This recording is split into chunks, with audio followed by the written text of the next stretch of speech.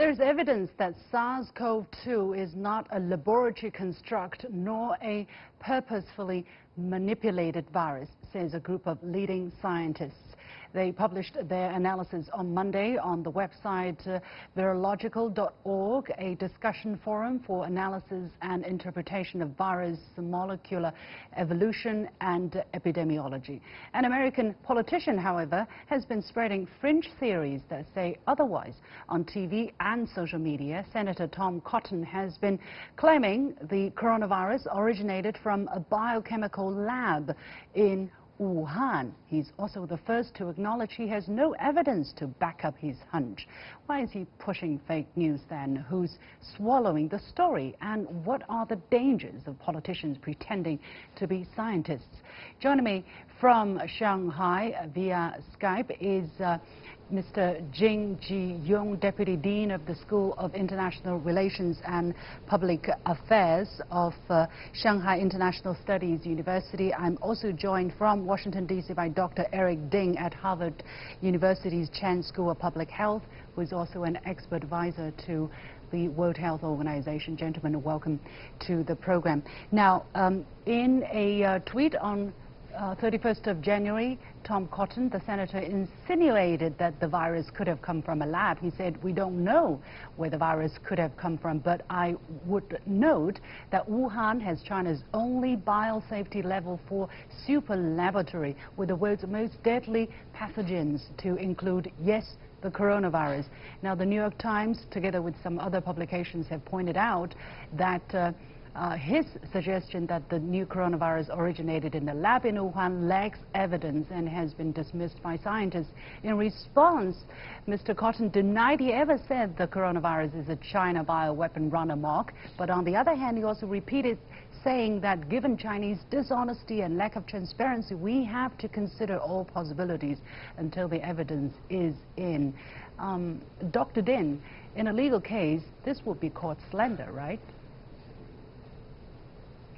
Well, Senator Cotton can say whatever he wants uh, in terms of, uh, you know, this, there's free speech in America because he didn't state anything that's fact-based. And that's the whole thing. He, nothing that he said is actually based on fact whatsoever. Um, but, you know, you have to realize, you know, in America, I previously ran for Congress. Uh, Senator Co Cotton is considered a joke, and he's, a, he's long-term considered a, a Trump uh, partisan puppet. He's a He's a warmonger. And so no one um, in the establishment or the mainstream media really takes anything what he says um, with seriously. But he is a senator, and so obviously he has a platform. But he, nothing he says is based on fact, and everyone knows it. And everyone here even laughs about it and dismisses uh, his, his fear-mongering. Well, I hope that is the case because it's, it's really quite outrageous, right? You say you don't have evidence, but then you say, I suspect something is happening. Normally, you know, before you suspect, before you, you accuse somebody, you lay out a, a, you know, a preliminary set of evidence yeah. to back up your claim before you ask the other person to prove they're right or wrong. Uh, however, you say nobody's taking him seriously, but he was a guest on Fox TV, for instance, and uh, I was watching another clip with, uh, you know, Fox TV anchor and uh, another um, guest who, uh, Peter Navarro, who was part of the Trump administration, and they were taking his claim quite seriously, and they were even talking about, you know, that his claim was not being denied by the Chinese ambassador. I'll talk about that in just, just a moment. It seems that uh, there are some people who are cheering, who are, you know, agreeing with him. Professor D Jing, how do you look at the, the kind of phenomenon surrounding the cheering for nothingness here?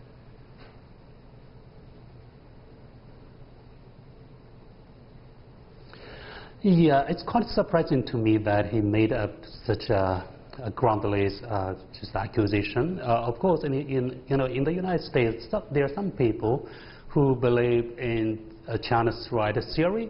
So I think uh, uh, Mr. Cotton um, invented this accusation just to try to please those people who believe in China threat theory. Of course, you know, this accusation, I think it's, uh, it's far-fetched. I think it's also biased, so it will cause a lot of consequences. For example, it will just lead to uh, stigmatization and discrimination and even isolation. So it's detrimental to the, just international cooperation uh, to respond to infectious diseases.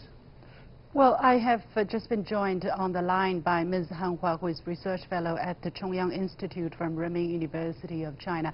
Ms. Han, how do you look at this? Um, some people would uh, use, yeah, as uh, Dr. Ding just now said, you know, this is uh, freedom of expression. So in America, you can ask these kind of questions, and uh, it would be excused to ask this kind of question. What you make yourself is a different matter. But again, at a time of such importance, of such sensitivity, uh, being a senator, someone who is part of the lawmaking process, being part of the government, do you think um, such rhetoric can be excused? Uh, I'm actually visualizing that when Senator Cotton made this accusation, he stood together at least with some scientists from WHO or USCDC. But now it was just a very crazy and factor-free accusation made by his own supporters, zero. So one, on one hand, it is a very serious and almost a fatal accusation from a U.S. senator towards a government, a government which for the past 40 years worked relentlessly to for, for its people, for example, to lift its 800 million people out of poverty, raise, raise the livelihood of its people to a GDP per capita towards almost 10,000 USD in 2019, and a government whose top priority now fighting combating the outbreak of virus to serve the people in the front front worldwide. On the other hand, the accusation was raised by a U.S. senator, so at least there should be some associated proof or scientific evidence, but there is zero. Yeah, and I find that to be very surprising. And he keeps, you know, it's very clever, you know, how people make this kind of accusation. As I said, it's insinuation. They're not saying this is coming out of a lab. So when people prove him wrong, he can say, I never said it, so there is nothing to step back from. But actually, he was insinuating, and this is very dirty, very mean in my eyes. Now, mm -hmm. um, and it gets further. I mean, Chinese ambassador to the United States, Mr. Cui Tiankai, went on CBS and he talked about such theories and his answer was interpreted later by some on Fox News as a tacit admission that, uh, you know, this virus could have been made by China as some kind of bioweapon or it was leaked from some kind of a, or, yeah, uh, from a biolab. Here is what Ambassador Cui said. He said it's very dangerous to stir up suspicion, rumors, and spread them among the people. For one thing, this will create panic. Another thing that it will fan up it will fan up racial discrimination, xenophobia, all these things that will really harm our joint efforts to combat the virus. Of course, there are all kinds of speculation and rumors there are people who are saying that these viruses are coming from some military lab, not of China, maybe in the United States. How can we believe all these crazy things?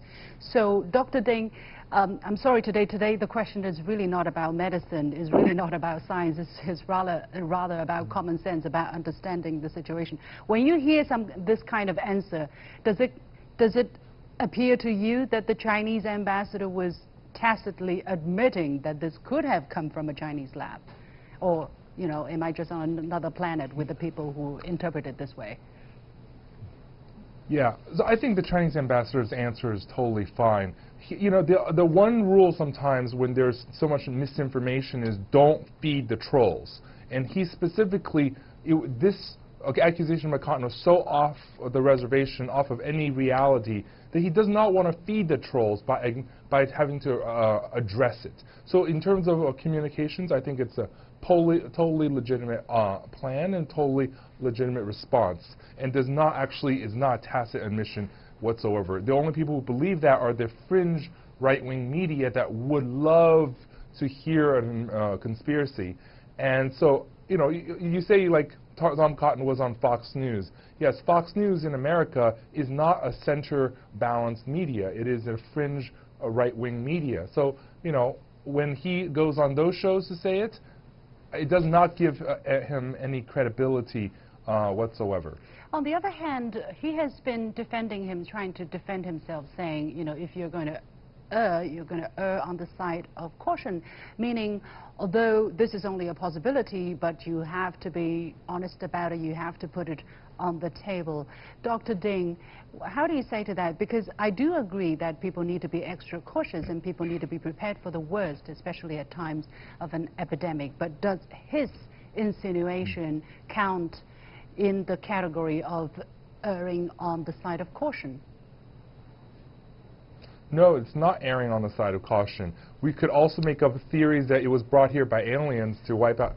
It makes no sense whatsoever. Erring on the side of caution is thinking about, all right, things that could actually affect our public health containment. That is what, what we must focus on.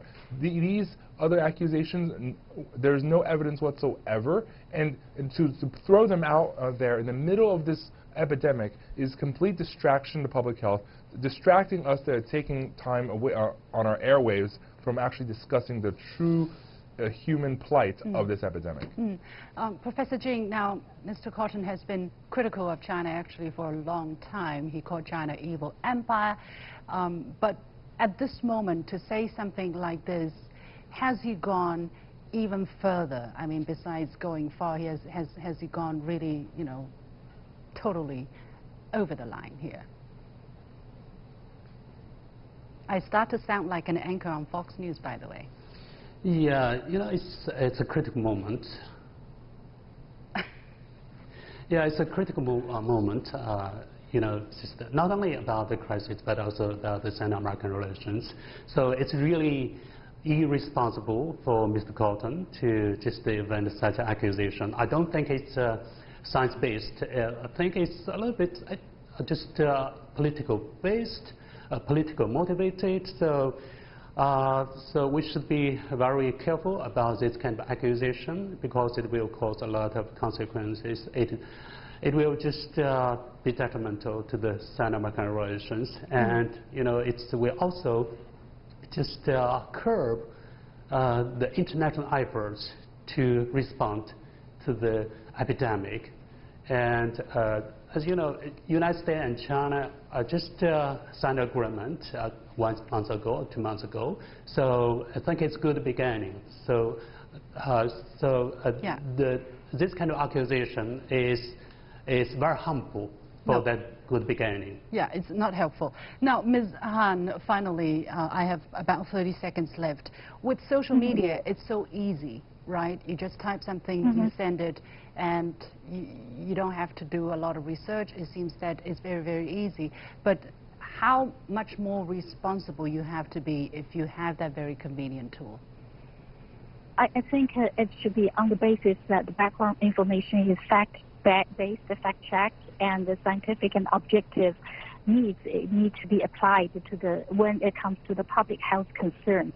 So I'm actually advocating that when it comes to social media, uh, the public information trans transmission, the scientists, experts involved in research and the investigation could be able to share more background information down the road together with the public. And the government, be it the Chinese government or other countries' government, is still in a learning process too.